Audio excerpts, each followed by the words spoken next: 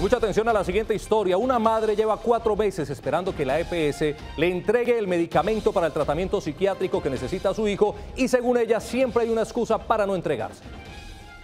Evangelina Arrieta vive en el barrio chino del corregimiento kilómetro 8 de Puerto Wilches. Sus condiciones de salud y el cuidado de su hijo le impiden conseguir un buen empleo.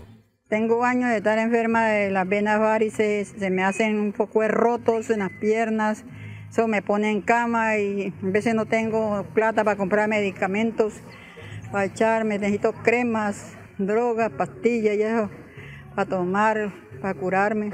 La señora vive sola con el niño, con un niño que es incapacitado y ella necesita ayuda, ella necesita colaboración en alimentación, el arreglo de vivienda y los médicos y todo eso, porque la señora, eh, mejor dicho, no tiene ayuda de nada. Pedrito es la única compañía que tiene Evangelina y depende totalmente de ella. Él sufre ataque epiléptico y retardo mental.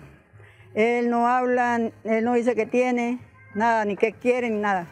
Si tiene fiebre, pues uno lo toca y ve que tiene fiebre, sabe que tiene que darle algún medicamento para eso. Desde que lo hospitalicé uh, el año pasado, se me puso a caminar así. Pues no caminaba así, se puso el año pasado a caminar así encurrucado. Alimentos, ropa, medicamentos son sus mayores necesidades en este momento. Por eso acuden a los buenos corazones que quieran brindarles una mano.